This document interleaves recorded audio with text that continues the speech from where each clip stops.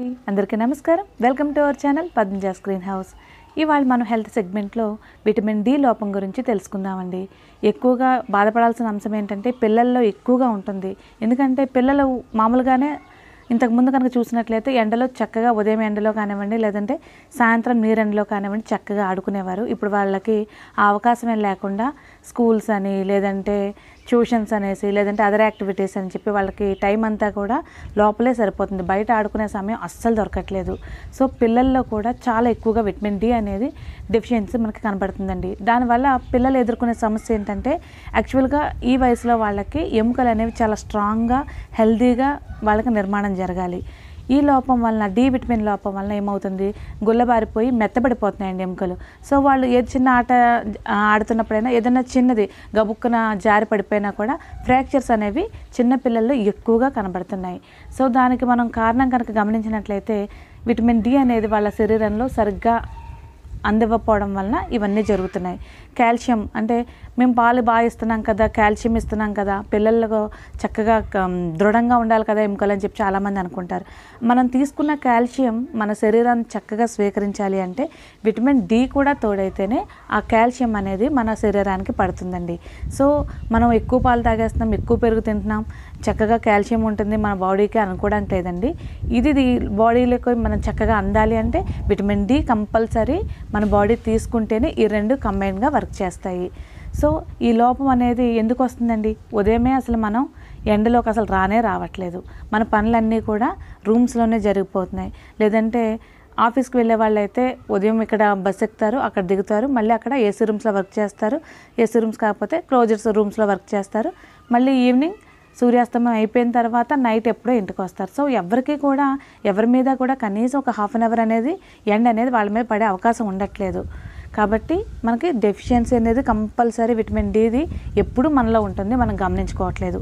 ఈ డెఫిషియన్సీ అనేది మనం ఎలా గుర్తించాలి? చాలా మందికి లే ఉదయం లేవంగానే అస్సలు ఉత్సాహంగా అనిపించదండి. అబ్బా ఏంటి చాలా నీరసంగా అనిపిస్తూ ఉంటుంది అనమాట చిన్న పనికే వాళ్ళు అలసిపోతూ ఉంటారు. అది దేనికి సంకేతం అంటే మనలో విటమిన్ డి తక్కువ ఉండడం వల్ల అలాగా ఊరికి చిన్న పనికే చిన్నది. ఏదైనా అటు నుంచి ఇటు ఒక టెన్ మినిట్స్ మనం నడిచి ఏదైనా పని చేసినా కూడా ఊరికినే వాళ్ళకి ఎక్కువ చెమటలు పట్టేసి ఎక్కువ నీరసపడిపోతూ ఉంటారు. అలాగే మతిమరుపు కూడా ఎక్కువ అవుతుందండి. తర్వాత కుంగుబాటు అంటే డిప్రెషన్. కారణం ఏం ఉండదు. కానీ వాళ్ళు చాలా డిప్రెషన్కి గురవుతూ ఉంటారు. అలాగే అనేక రకాలైనటువంటి చర్మ వ్యాధులు వస్తాయండి. విటమిన్ డి లోపం వల్ల. నా ఉదాహరణకి సోరియాసిస్ కానివ్వండి ఎగ్జిమా కానివ్వండి ఇవన్నీ కూడా సరైన ఎండ అనేది మన బాడీ మీద పడకపోవడం వల్ల ఈ చర్మ వ్యాధులు కూడా వచ్చే అవకాశం ఉంది. గమనించినట్లయితే హెయిర్ ఫాల్ కూడా ఎక్కువగా ఉంటుందండి. అంటే హెయిర్ ఫాల్కి చాలా రకాల సమస్యలు ఉంటాయి. దాంట్లో ఇంకా ఒకటి యాడ్ ఆన్ ఏంటంటే ఇది. విటమిన్ డి లోపం వల్ల హెయిర్ ఫాల్ కూడా జరుగుతుంది. బ్యాక్ పెయిన్ ఎక్కువగా ఉంటుందండి. మజిల్ పెయిన్స్ ఉంటాయి మనకి. అంటే తెలియదు లోపల నుంచి పెయిన్ వస్తూ ఉంటుంది బాడీ పెయిన్ ఉంటుంది తర్వాత స్ట్రెస్ ఎక్కువగా ఉంటుంది. ఇంకా చెప్పాలంటే చాలా రకాల సమస్యలు మనకి ఈ విటమిన్ డి లోపం వల్ల మనకి మన చుట్టూ ఉంటా ఉంటాయండి. మనమే సరిగ్గా గమనించుకోము దేనివల్ల అనుకుంటా ఉంటాము.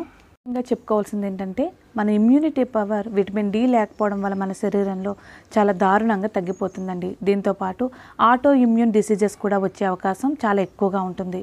సో అస్సలు మనకి రోగనిరోధక వ్యవస్థ అనేది చాలా బలహీనంగా ఉండడం వల్ల చిన్న చిన్నవి అంటే ఎప్పుడో రావాల్సిన వ్యాధులు కూడా చాలా ముందుగా వచ్చే అవకాశం అయితే మనకి ఎక్కువగా ఉంటుంది.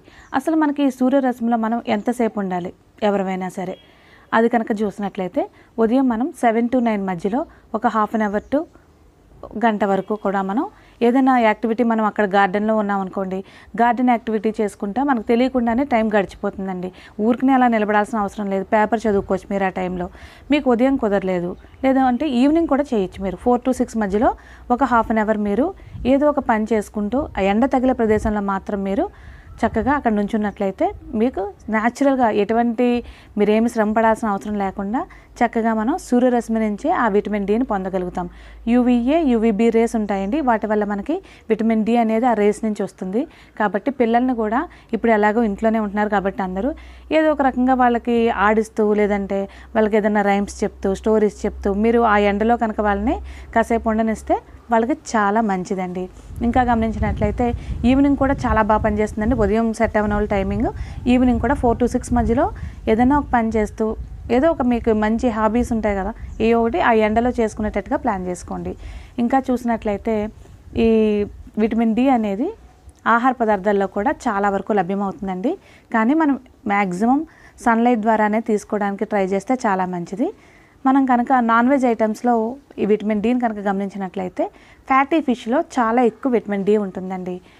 కొవ్వు పట్టిన చేప అంటారు కదా అలాంటి ఫిషెస్లో ఎక్కువ విటమిన్ డి ఉంటుంది. ఇంకా ట్యూనా సాల్మన్ ఈ జాతికి చెందిన చేపల్లో అయితే ఎక్కువ ఉంటుంది. సో నాన్ వెజ్ లవర్స్ ఎవరైనా ఉంటే ఎక్కువ చేపలు తీసుకోవడం ద్వారా ఈ విటమిన్ డి డెఫిషియన్సీని అధిగమించవచ్చు ఇంకా రొయ్యల్లో ఉంటుందండి కోడిగుడ్లలో కూడా ఈ విటమిన్ డి అనేది చాలా వరకు ఎక్కువగా ఉంటుంది. సో వెజిటబుల్స్ తినే వాళ్ళకి విటమిన్ డి ఎలాగా అనుకుంటే కనుక వాళ్ళకు కూడా లభిస్తుందండి. ఎలా అంటే పాలు పెరుగు వీటిల్లో కూడా విటమిన్ డి చాలా ఎక్కువగా ఉంటుందండి. మీరు కోడిగుడ్డు తీసుకున్నట్లయితే ప్రాబ్లం ఉండదు. రోజుకి ఒకటి నుంచి రెండు కోడిగుడ్లు శుభ్రంగా తినండి. హ్యాపీగా డి విటమిన్ అనేది మీకు ఒంటికి పడుతుంది. ఈ పాలు పెరుగు అనేవి కూడా మనకి బయట మనం చూసినట్లయితే టెట్రా ప్యాక్స్ దొరుకుతూ ఉంటాయి కదండి. దాంట్లో వాళ్ళు fortified vitamin D with calcium అని చెప్పి వాళ్ళ సప్లిమెంట్స్ని ఆ పాలల్లోనే కలిపి వాళ్ళు పాలు తయారు చేయడమో పెరుగు తయారు చేయడమో చేస్తారు. ఆ ప్యాకెట్స్ కనుక మనం టెట్రా ప్యాక్స్ కనుక వాటి మీద రాసి ఉంటాయండి. ఫార్టిఫైడ్ అని రాసి ఉంటుంది. దాంట్లో విటమిన్ డి కానీ ఇంకా ఏదైనా దాంతోపాటు కాల్షియం కానీ ఐరన్ కానీ వాళ్ళు యాడ్ చేస్తారు. దాన్ని మీరు గమనించుకుని మీరు తీసుకున్నట్లయితే వాటి ద్వారా కూడా మీరు ఎవరైతే వెజిటబుల్స్ తింటారో వాళ్ళకి ఇది నేను చెప్తున్నానండి. చక్కగా అందుతుంది. ఇంకా వెజిటబుల్స్లో చూసినట్లయితే ఈ మష్రూమ్స్ తినడం వల్ల కూడా విటమిన్ డి మనకు అందుతుందండి. దాంట్లో బటన్ మష్రూమ్స్ అని చెప్పి చిన్న చిన్నవి అమ్ముతారు కదండి. అవి తీసుకోవడం వల్ల కూడా మనకి ఎక్కువ శాతం అందడానికి అవకాశం ఉంది. అలాగే కమలా రసంలో కూడా చాలా వరకు విటమిన్ డి మనకి అందుతుందండి. ఇంకా కొన్ని ఆహార పదార్థాల్లో విటమిన్ డి ఉందండి. దాంట్లో ముఖ్యమైనది ఓట్స్. ఓట్స్లో కూడా చాలా చక్కగా విటమిన్ డి ఉంటుందండి. ఇంకా చీజ్లో కూడా విటమిన్ డి అనేది చాలా ఎక్కువగా ఉంటుంది. ఈ వీటన్నిటినీ కూడా మనం డైలీ డైట్లో చక్కగా యాడ్ చేసుకుంటే చాలా వరకు మన శరీరానికి విటమిన్ డి అందించిన వాళ్ళు అవుతామండి. ఇవేమీ కాదు మనం క్యాప్సూల్స్ రూపంలో తీసుకోవాలి అనుకున్నప్పుడు కార్డ్ లివర్ ఆయిల్ అని చెప్పి మనకి క్యాప్సూల్స్ మెడికల్ షాపుల్లో దొరుకుతూ ఉంటాయండి. వాటిని కనుక మనం ఒకటి నుంచి రెండు క్యాప్సూల్స్ రోజు డైలీ మనం తీసుకున్నట్లయితే అది కూడా చాలా చక్కగా పనిచేస్తుంది. కార్డ్ లివర్ ఆయిల్ అనేది కార్డ్ అనే చేప లివర్ నుంచి తీసిన ఆయిల్ మాట అండి ఆ సప్లిమెంట్ కూడా చాలా బాగా ఉపయోగపడుతుంది. ఇంకా పాలు తీసుకోవాలి అన్నాం కదా అనేసి పాలే కదా అనేసి వాటిని టీ రూపంలోను కాఫీ రూపంలోనూ బూస్ట్ బాన్విటా ఇలా యాడ్ చేసి అలా కాకుండా ప్లెయిన్ పాలు తీసుకోవడానికే ట్రై చేయండి. వాటిలో మాత్రమే ఈ డి విటమిన్ అనేది చక్కగా మనకి ఉంటుందండి. వాటిని మనం వేరేగా ట్రా ట్రాన్స్ఫార్మ్ చేసుకుంది అయితే తీసుకోకూడదు. సో ఇవన్నీ కూడా నాన్ వెజ్ వాళ్ళకైతే మటుకు చెప్పాను కదండి చేపలు రొయ్యలు కోడిగుడ్లు. ఇంకా మష్రూమ్స్ ఇవన్నీ వీ- వీటన్నిటిలోనూ చక్కగా ఉంటాయి. వెజిటేబుల్స్ తినే వాళ్ళందరూ కూడా నేను చెప్పిన మిగతా పదార్థాల్లో ఉంటాయండి. వాటిని తరచుగా తీసుకోవడం వల్ల ఈ సమస్య నుంచి మనం చాలా వరకు బయటపడగలుగుతాం. అలాగే మ్యాక్సిమం కుదిరినంత వరకు కూడా రోజు ఒక హాఫ్ అన్ అవర్ మనం మన యాక్టివిటీస్ని నీర్ ఎండలో కనుక మనం ప్లాన్ చేసుకున్నట్లయితే మన పనులు అయిపోతూ ఉంటాయి. మనకు కావాల్సినటువంటి సూర్యరశ్మి ద్వారా లభించేటటువంటి విటమిన్ డి అనేది నేరుగా మన శరీరానికి అందుతుందండి.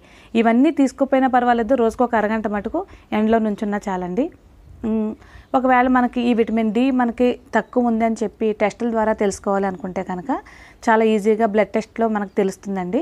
Blood test vitamin D test అని చెప్పి ఉంటుంది. అది కనుక చేయించుకున్నామంటే దాంట్లో మనకి థర్టీ టు ఫార్టీ లేదంటే ఫార్టీ టు ఫిఫ్టీ పర్సెంట్ కనుక మనకు రేషియో వచ్చినట్లయితే మన శరీరంలో చక్కగా విటమిన్ డి ఉన్నట్టేనండి. అంతకు మించి తక్కువ కనుక వచ్చినట్లయితే డెఫినెట్గా మనం డాక్టర్స్ ఏవైతే సజెస్ట్ చేస్తారో ట్యాబ్లెట్స్ చెప్తారు లేదంటే ఇంజెక్షన్స్ కూడా ఉంటాయండి. మంత్లీ కానీ లేదంటే వీక్లీ కానీ చేయించుకోవాల్సి ఉంటుంది. అలా కూడా మనం ట్రీట్మెంట్ ద్వారా కూడా మనకున్న విటమిన్ డి సమస్యని నివారించేసుకోవచ్చు. అన్నిటికన్నా ముందు చక్కగా మంచి డైట్ తీసుకోండి. అలాగే మీరు ఏదైనా వ్యాయామం కానీ ఇంకేదైనా చేసినట్లయితే అవి ఎండలో ఈ టైం చెప్పాం కదండి సెవెన్ టు నైన్ ఉదయం ఈవినింగ్ వచ్చి ఫోర్ టు సిక్స్ ఈ మధ్యలో కనుక మీ యాక్టివిటీస్ ప్లాన్ చేసుకున్నట్లయితే ఎండ అనేది చక్కగా మీ శరీరానికి తగులుతుంది. ఇప్పటి వరకు కూడా మనం డి విటమిన్ గురించి చాలా విషయాలు తెలుసుకున్నాం కదండి. నా ఈ వీడియో కనుక మీకు నచ్చినట్లయితే లైక్ చేయండి షేర్ చేయండి. ఎవరైనా కొత్తగా వాచ్ చేస్తున్నట్లయితే సబ్స్క్రైబ్ చేసుకోవడం అస్సలు మర్చిపోవద్దండి. మళ్ళీ మరొకసారి మరొక మంచి టాపిక్తో మళ్ళీ కలుద్దామండి. అంతవరకు బాయ్.